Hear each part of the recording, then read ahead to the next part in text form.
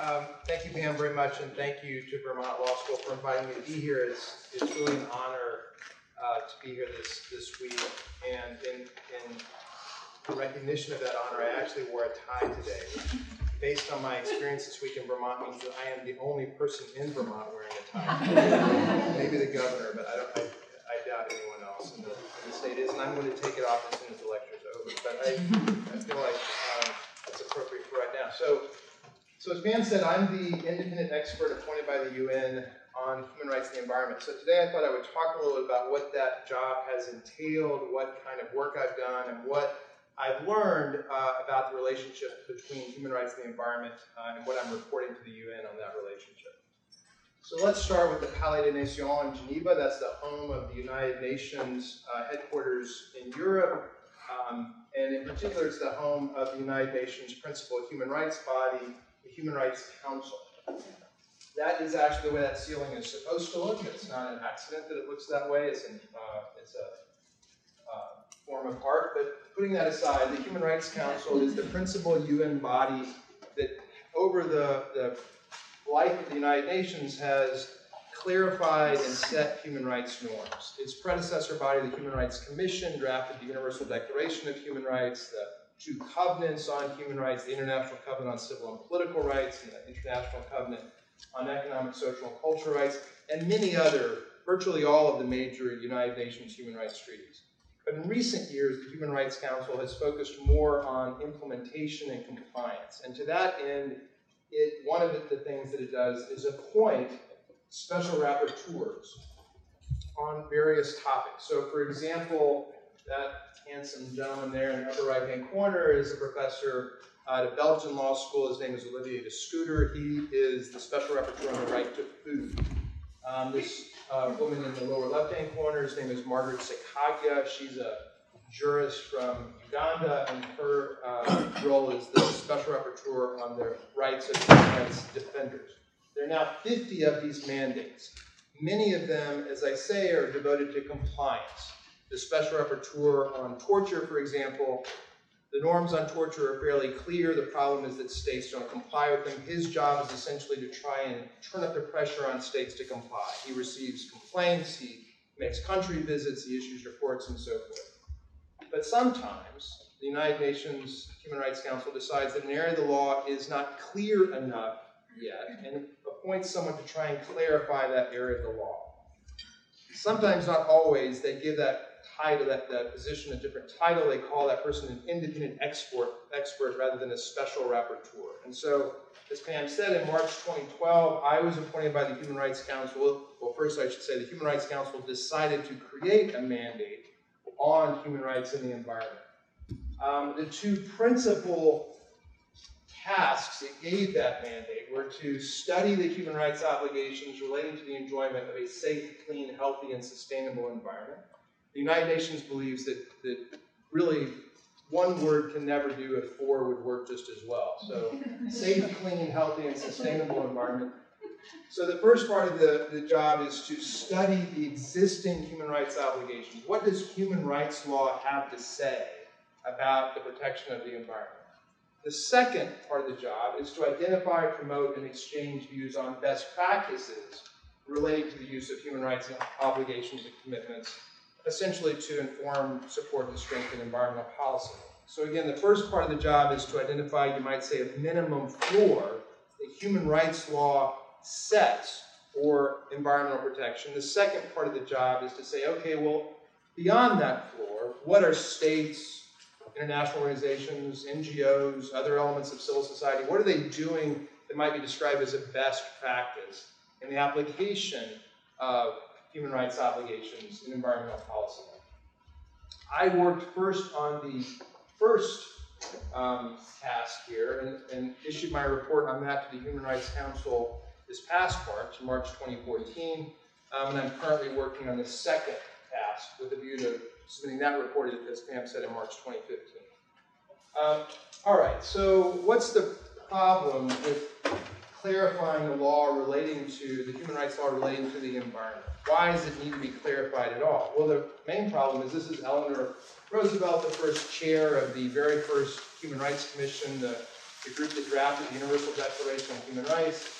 Um, that is a picture of her looking at the Universal Declaration of Human Rights. At the very moment, she realized that she had forgotten to put in anything about the environment at all. That's not how it's normally understood, but that's, I'm pretty sure that's what was going through her mind. So, the problem here is that really the environmental, the modern environmental movement came along after the human rights, the principal human rights conventions and instruments had been drafted. The Universal Declaration was adopted by the General Assembly in 1948. The two principal covenants were adopted by the General Assembly in 1966. And as you know, the first Earth Day was in 1970. The first major international environmental conference was in 1972. It just missed the train. Um, so as a result, the principal UN human rights conventions just don't say much of anything about the environment. There are a few exceptions, but not many. In contrast, um, national constitutions, more than 90 national constitutions, now do include a right to a healthy environment. If anything, that number may be a little bit low because in many countries, the Supreme Court has interpreted rights to life and health as incorporating environmental protections. In addition, regional bodies, this is a picture of the lovely home of the Inter-American Human Rights Court, the court created by the American Convention on human rights. That's the principal human rights agreement for the Western Hemisphere, basically. Um, these courts have increasingly applied existing human rights norms, rights to life, to health, rights to be free from, um, uh, rights of, uh, to be to have free expression and assembly. They've applied those rights in the context of environmental protection. Um, in addition, even at the UN level, treaty bodies created, this is a meeting of the Human Rights Committee, the, the body that oversees compliance with the International Covenant on Civil and Political Rights. Even at the UN level, these treaty bodies, again, in interpreting existing human rights, rights to life, health, property, and so forth, have interpreted them in ways that bring them to bear on environmental issues. So there's a growing body over the last 20 years, a rapidly growing body of environmental human rights case law and jurisprudence, even though there's still no global treaty that recognize, recognizes the so-called human right to a healthy environment. So my job was essentially to report to the UN Human Rights Council uh, a kind of restatement of this body of the law. Here it is developing in all these different places. What does it add up to? Are there common patterns and trends? Are there general norms and principles we can derive from this. And my, as I told the Human Rights Council in March, just this past March, the answer is yes, there are um, clearly common trends. Let me just say a word, and I'm going to go through the next few slides fairly rapidly, about how I did this research. Um, this is the home of the Office of the High Commissioner for Human Rights um, in the Palais Wilson in Geneva. Um, the Office of the High Commissioner for Human Rights is the principal officer within the United Nations Secretariat responsible for human rights. Um, until quite recently, until this summer, it's been Navi Pillay for the last several years. She's about to be replaced by Prince Zeid of Jordan um, in September.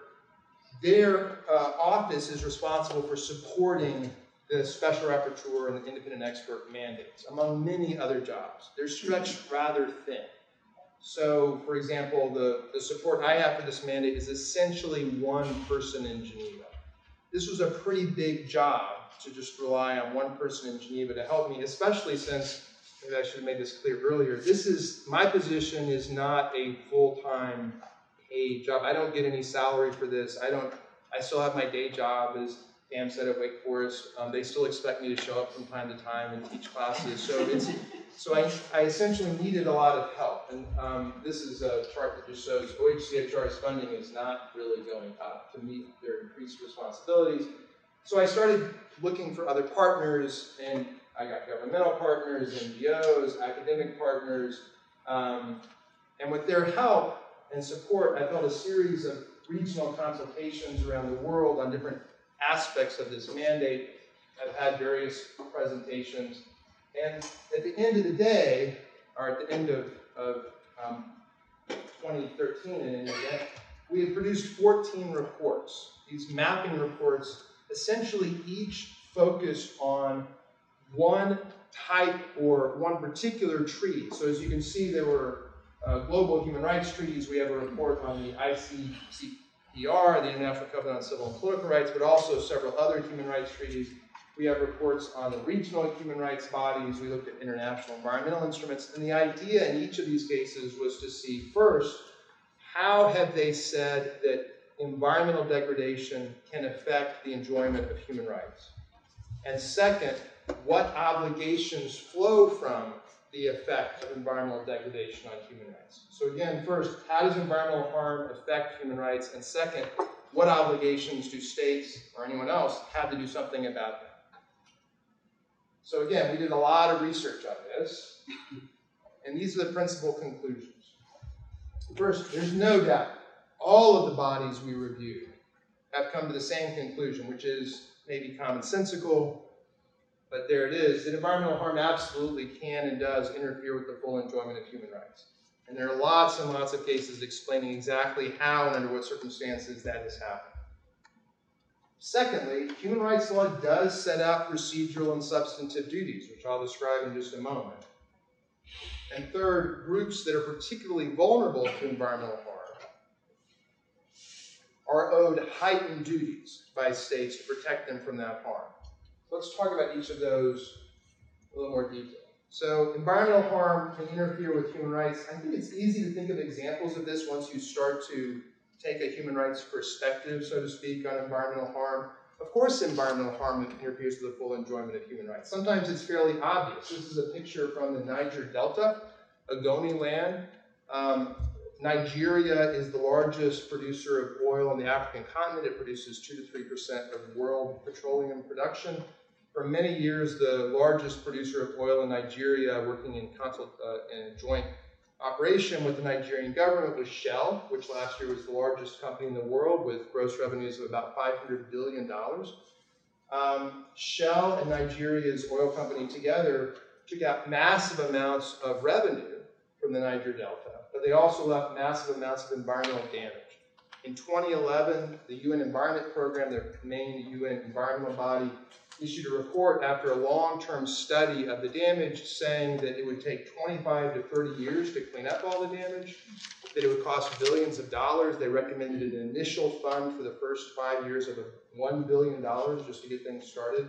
And the environmental damage included things like they found um, oil 15 feet below ground level. Um, as you'd expect, and drinking water was contaminated well beyond levels that make it safe to drink, but to truly astronomical levels. Um, one community had uh, dioxin in its drinking water at 900 times, 900 times. The World Health Organization recommended maximum allowance.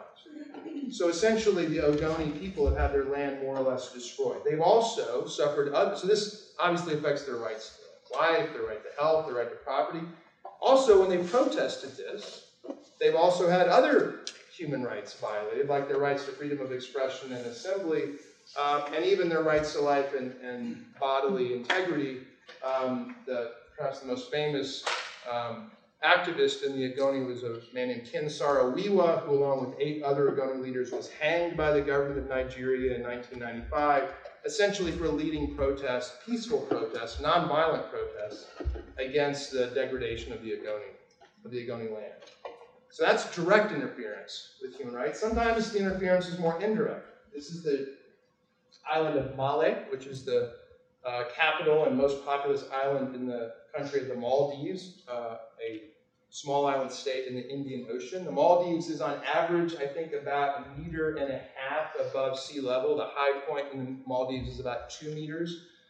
Two meters, for those of you still um, resisting the inevitable is about six feet, which is about me. So I, am pretty much the high point of the Maldives. Um, as you know, climate change is going to cause ocean levels to rise. Not at all extreme uh, estimates. I mean, that is fairly conservative estimates suggest that the ocean level rise by 2100 will be at least half a meter or a meter, probably more the latter, could quite well be above that um, that will simply inundate the Maldives. The Maldives is looking at an existential crisis here, um, where their lands will simply cease to exist. Uh, needless to say, this jeopardizes the human rights of the Maldives. Um, it's going to be a slow process, so it's not like they won't have time to leave, but at the same time, we're talking about massive harm to their rights to things like an adequate standard of living, to health, to housing, and even their right to self determination, their right to existence as a self determining people. All right, so there's lots of other examples, but why don't we talk a little bit about the duties that we found? So the, the, the environmental human rights case law is actually remarkably uniform, despite the fact that these widely different bodies at the international, regional, national level are interpreting very different types of agreements. They're all human rights agreements, but despite the fact that they're interpreting different ones, they reach very similar conclusions. They set out certain rules for environmental policymaking that include duties to, on the part of the state to assess environmental impacts on human rights.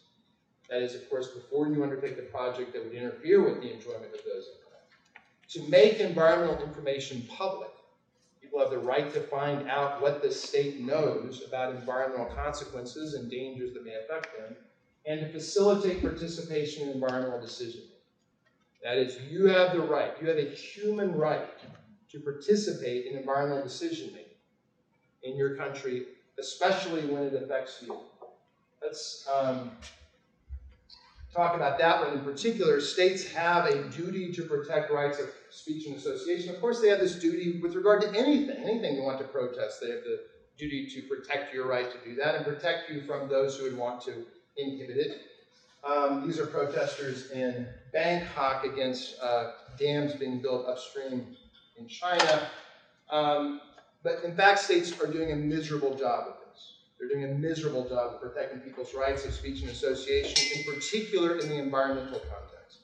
The Special Rapporteur on the Rights of Human Rights Defenders, Margaret Sekaggya, the woman that I referred to earlier, um, in a recent report, she said that of all the different types of human rights defenders out there, and human rights defenders are just those who try and defend not only their own rights, but those of their community, those of others. The most famous examples, of course, are people like Gandhi, but they include all kinds of people. Um, she said that the, the, the group that is second most at risk of death, violence, and harassment are environmental human rights defenders.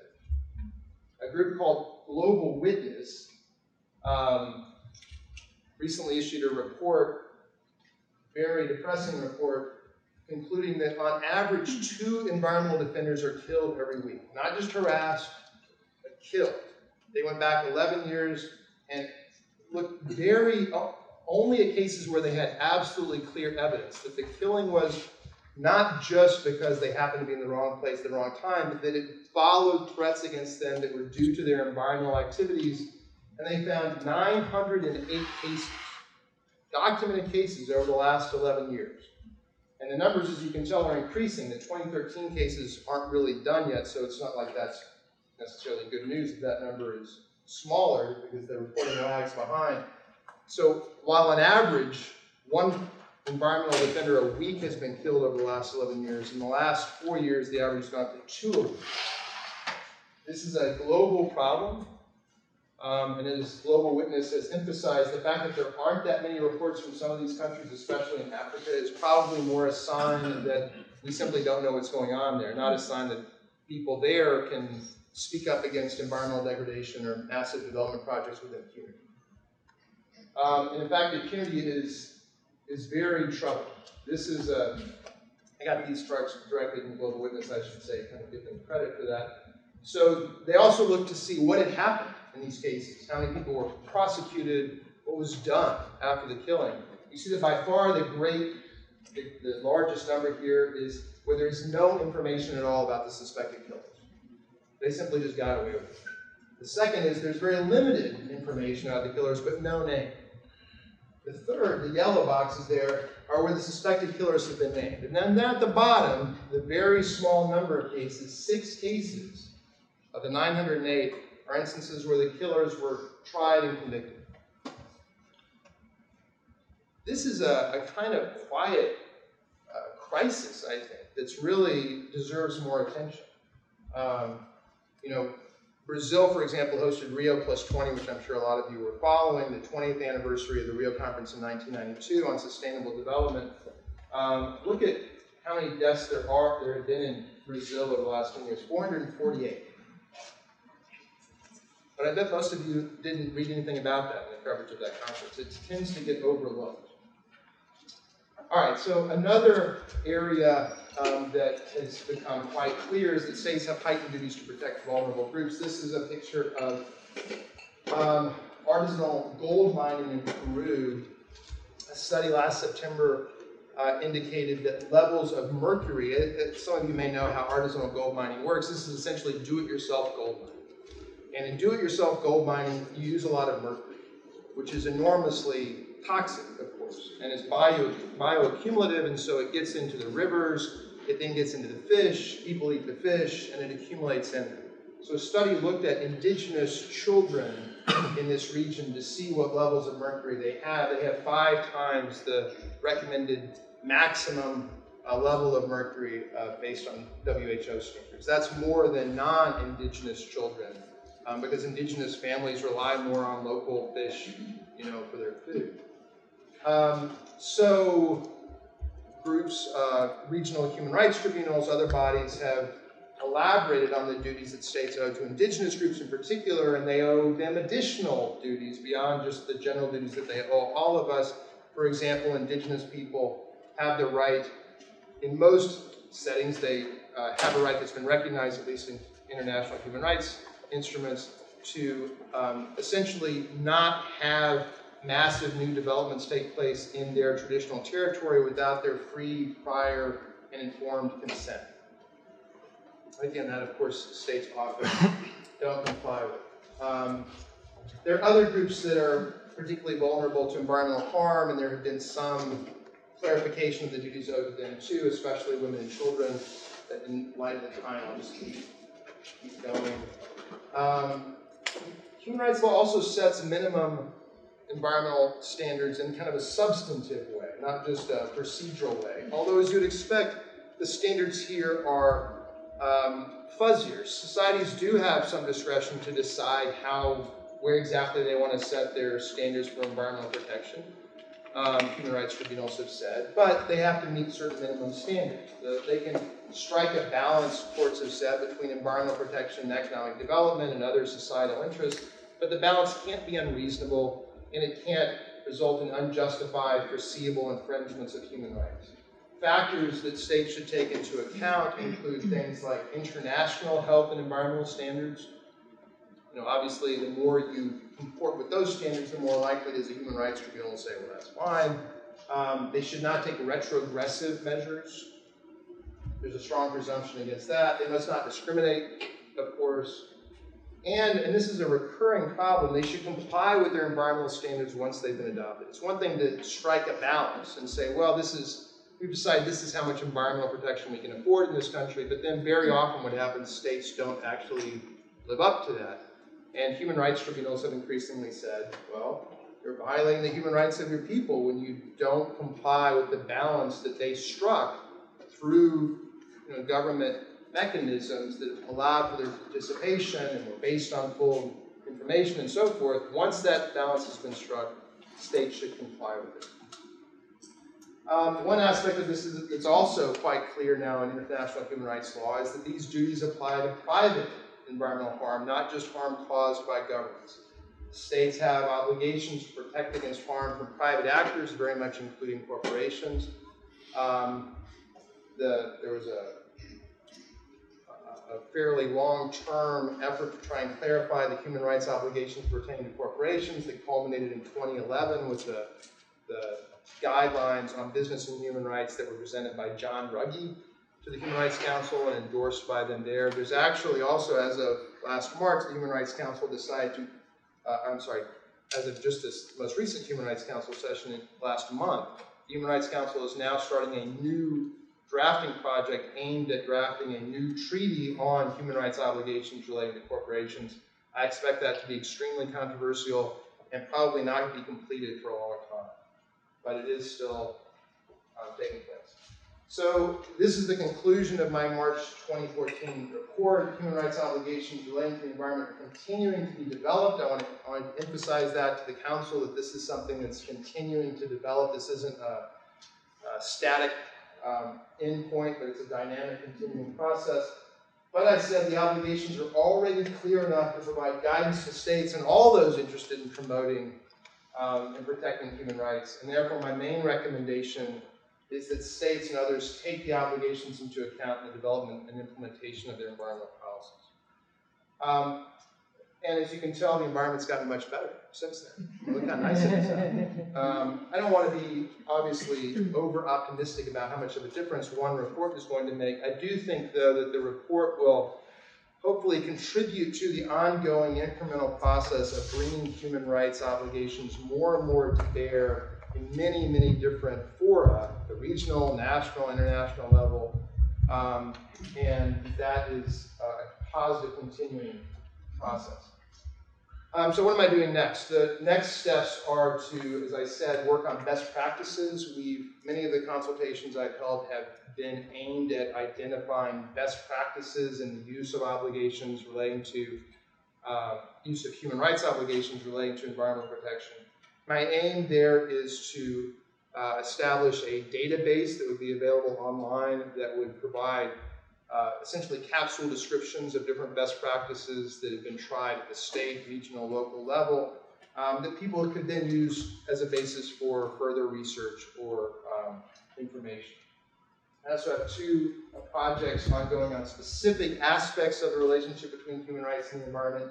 One is on climate change and human rights. Uh, next week I'm having a meeting in Geneva. Actually, it's in Chamonix, which sounds pretty like frivolous, I know, but it's where they found the room. I swear it was the cheapest place around Geneva. And so we're having a meeting of experts on climate change and human rights. Uh, one, one thing that is not that clear yet in human rights law is how human rights law applies to transboundary environmental harm like climate change. So this meeting is designed to try and clarify that. Um, we hope, our hope is that we'll be able to present the conclusions at the Lima meeting, the next meeting of the Conference of the Parties and the Framework Convention, uh, Conference of the Parties to the Framework Convention on Climate Change. And then I've also had several meetings on the problem of environmental and human rights defenders. As I said, that's a massive problem, and there's not a simple solution to it, but one step has to be simply to pay more attention to it. Um, it's a problem that's often overlooked both by human rights groups on the one hand and environmental groups on the other. I don't want to overstate that. Obviously, they're aware of the problem, but they it, I think sometimes at an international level, it does tend to fall between the cracks of those two, those two types of bodies. Um, there's a mandate website. Let me see if I can pull that up, um, which has more information.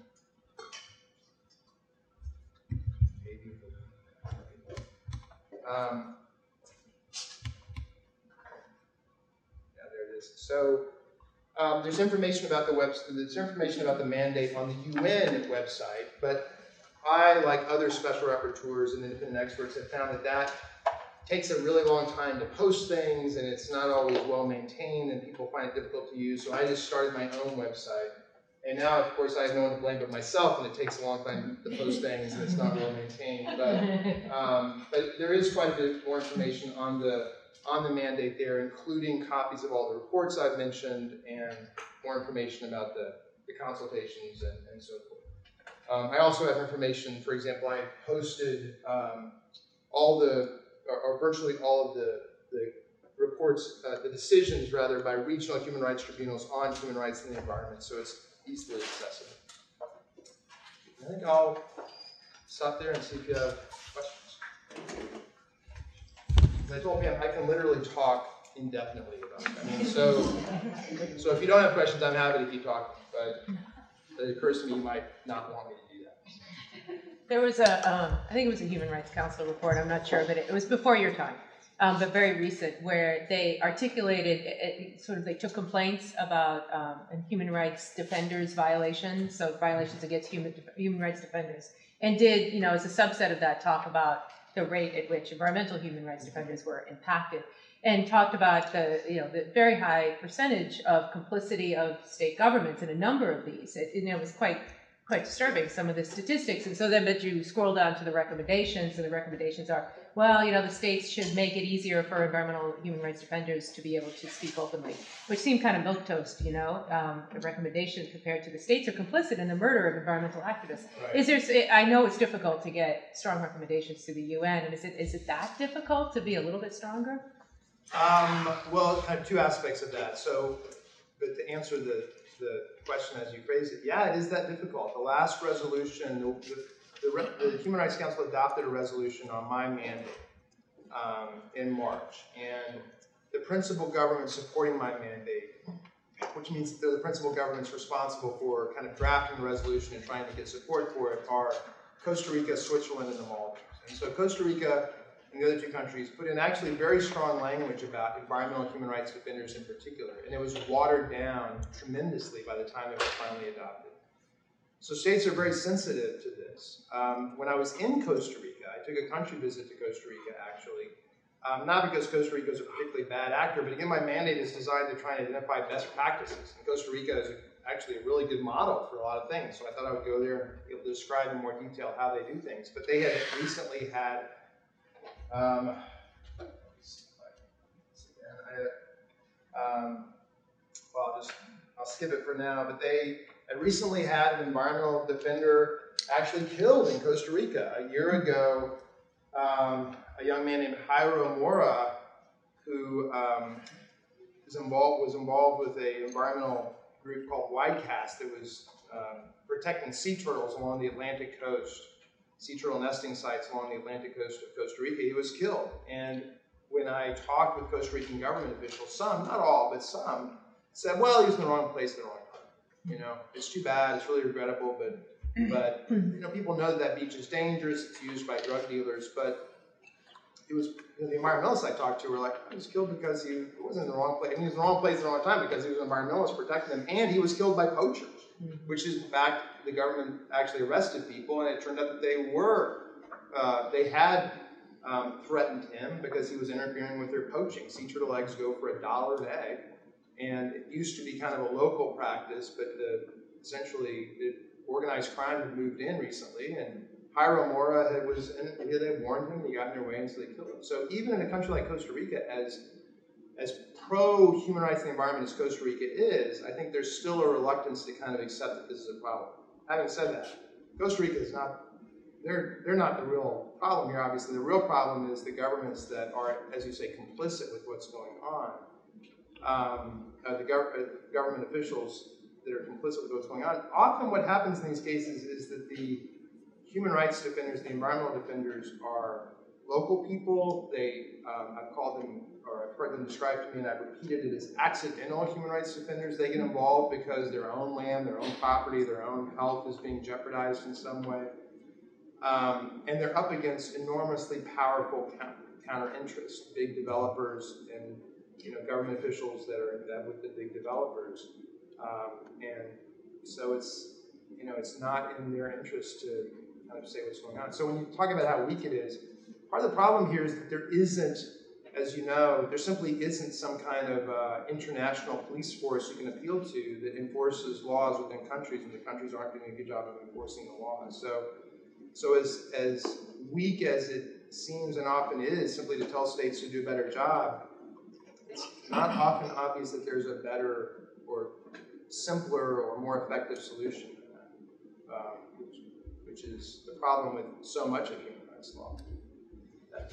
Um, following up on that, yeah, because it's easy for the UN to say the states have duties, which apply those, or that even that watered, that, that language was watered down sometimes. Um, going back to comments on John Ruggie's work and business and human rights, much stickier issue because the biggest actors in this are often businesses and corporations that are causing most environmental harm. In the states that that's happening in, the state's regulatory capacity is often very limited. These are developing nations, et cetera. Do you see any connection or any, where is that nexus going to meet between Ruggie's work, your work, and action on getting the businesses to really take on more responsibility? Yeah. So um, as far as the first part of that question, where is the nexus between kind of Ruggie's work and my work? That's pretty simple for me because Ruggie made clear throughout his work that he was including environmental issues as well. Um, again, there's just been a remarkable movement toward accepting that human rights law is relevant to environmental protection from where it was even 10 years ago. And so I give Ruggie uh, a lot of credit for just not even really uh, casting any doubt on that. It's just, of course, um, corporations uh, are responsible when their activities cause environmental harm that, that causes human rights problems, as well as any other kind of activities they do that cause human rights problems.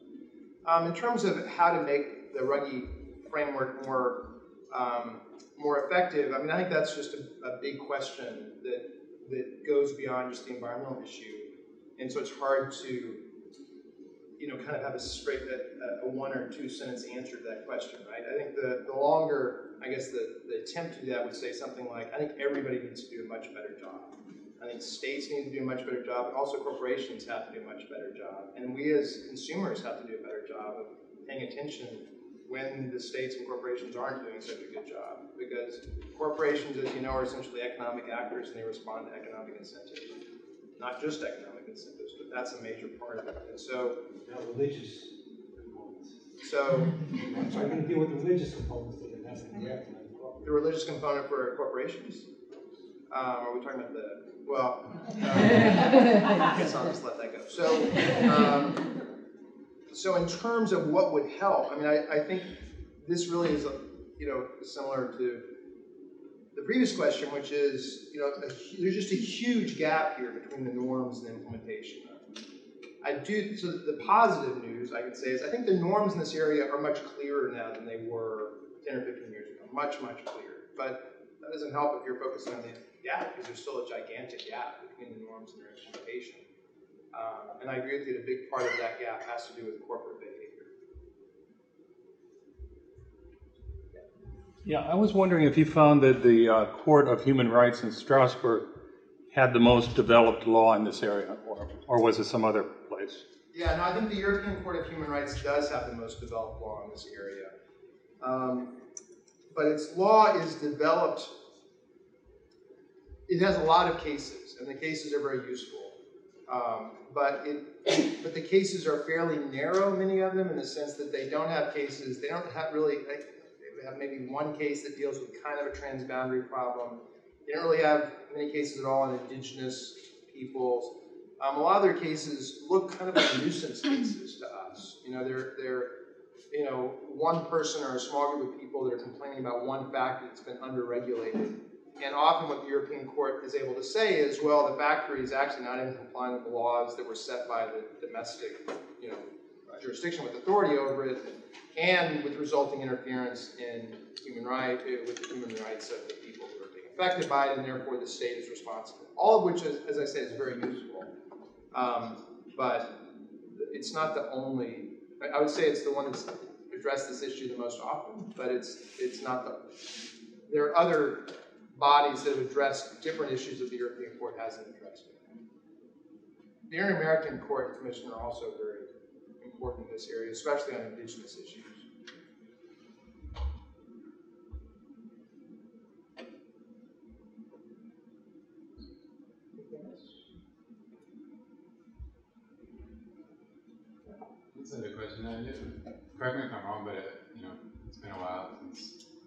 Looked at any of this stuff, but one of the reasons we ended up with the you know covenant on civil political rights and then a covenant on economic, social, cultural rights because there's a sort of divide between developing and developed countries and the rights that they focused on. And it seems sort of like a right to a healthy environment contains elements of both. In yeah, that's really true. So I'm just sort of wondering, curious, like in your work, how has the concept been received by the various yeah, that's a really good question. Um, so, so after I presented the report in March to the Human Rights Council, a very large number of states responded, not just members of the council, but also observer states as well as NGOs. Um, and on the whole, I would say I thought the responses were generally positive, but there certainly were patterns in what they were positive about, and things that, that you know, patterns in their silences, let's say. And I think they're not surprising to anyone who follows human rights at the United Nations, and you've already kind of alluded to some of the, you know, the fault lines. Um, developing countries are are often more likely to emphasize the need to clarify transboundary norms, norms for transboundary environmental harm to human rights. And there are, I could have said more about those norms. I don't mean to make it sound like human rights law has nothing to say about them. They're just not, I would say they're still in an earlier stage of evolution, but there are things you can say about them. But developed countries are often, for historical reasons, very cautious about agreeing that human rights obligations apply extraterritorially. Um, so that's one distinction. I think often developed, I mean, it's just what you expect. Countries that think they're doing pretty well in an area are happy to be told, yeah, there's norms in those areas because they think, well, we're meeting those norms. And countries that think they're more likely to be criticized are more likely to question whether there are any norms there at all. So I, you know, they fall into the kind of patterns you would expect with developed countries, as you say, often more comfortable with civil and political rights, um, and developing countries emphasizing more economic, social, and cultural rights. But as you also said, which is a really important point, in the environmental context, all the rights are implicated. This is really not a situation where you could say, well, this is really an economic, social, and cultural rights issue, or it's just a civil and political rights issue. Um, you need the procedural rights to make good environmental policy. And you need good environmental policy to protect the economic, social, and cultural rights, as well as some of the civil and political rights like rights to life. It's really, if it all works, it's a virtuous circle. The better job you do at protecting human rights, the better environmental protection you have, and the more the environmental protection supports the full enjoyment of human rights. If it doesn't work, it all breaks down.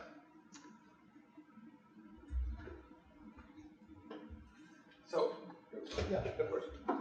so my question is, how does, um, how do these laws, um, how do they, uh, evolve as we see global warming changing the basic structure of each one of these countries as they become dry, or as the Maldives where the water is, uh, can these laws evolve to help, or like in Nigeria, isn't that where Boko Haram uh, exists, and uh, they, that's probably a response to the environmental degradation that's been occurring, isn't it, south of Nigeria? There, I do think it's, it's, I don't know that that's environmentally driven as much as religious, but I, but I'm not an expert on that. But anyway, but, but I take your point. In some situations, certainly, I mean, one thing we didn't talk about, but we should have talked about is mean, you're gonna save, you're gonna, the way I see it is, is that what you're doing is, is wonderful, but maybe is it gonna, is the UN gonna be able to react quickly enough to make a difference in, in areas where the population is unstable, the governments are unstable, they have a, they have a strong government, but they have also, uh, a, um, you know, a, uh, uh, a grassroots movement that is, uh, going to be unstable, destabilizing sure. the government. Well, again, you know, another big problem and another reason for the gap between norms and implementation is the ineffectiveness of governments in some areas. Essentially, you have failed or kind of quasi-failed states in some places, and there you don't even have governments to try and kind of hold accountable. Um, Ruggie, as you may know, uh, proposed to the Human Rights Council in 2011 um, that the council adopt a treaty or at least legal principles or start to move in the direction of legal principles specifically addressing the activity of corporations in areas where the government's ineffective. Um, the council did not decide to do that then, although again, they recently did decide to, to, consider binding legal norms uh, that, would, that would regulate corporations. But certainly one criticism you can make of all this is it just isn't adequate for the, for the size of the problem. And if that, if you have that feeling when you're hearing about this, then I'm very sympathetic with that. You know, the, the environmental problem, of climate change in particular, but other environmental problems are just gigantic, gigantic problems. But having said that, you know, human rights compliance would go a long way towards enabling people around the world to do a better job of addressing those problems. It's the only thing is like a silver bullet. I don't believe in silver bullets actually, but I think it's it'd be an important, invaluable step in the right direction.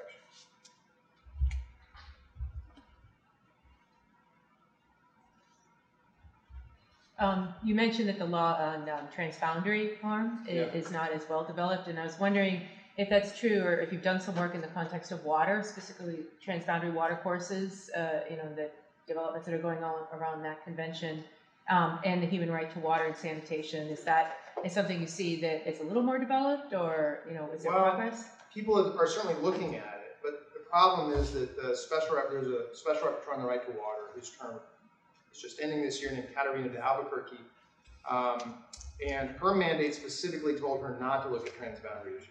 So that's Oh, how sensitive an issue that is, still at the United Nations. Um, So again, I wouldn't say that there's nothing going on there, there are developments in that area, but it's, it's been politically difficult. And this is kind of, I I mean, there's a kind of irony here, um, and I know we're out of time, so I'll, I'll kind of let you go. There's an irony here when you look at human rights and compare it to international environmental law. Human rights is really mainly about what you might call a vertical relationship between people and the states whose jurisdiction they live within, whereas most international environmental law is more about kind of horizontal relationships, transboundary relationships. International environmental law is all about transboundary harm. Human rights law is mainly about people being owed obligations from the states that have most authority over their own lives. And so one area of possible fertility here, one would hope, is that each of them, by having, by kind of coming together, each of them are able to fill in the gaps. They're able to look to this other area of the law and help fill in the gaps in their own area. I'll stop.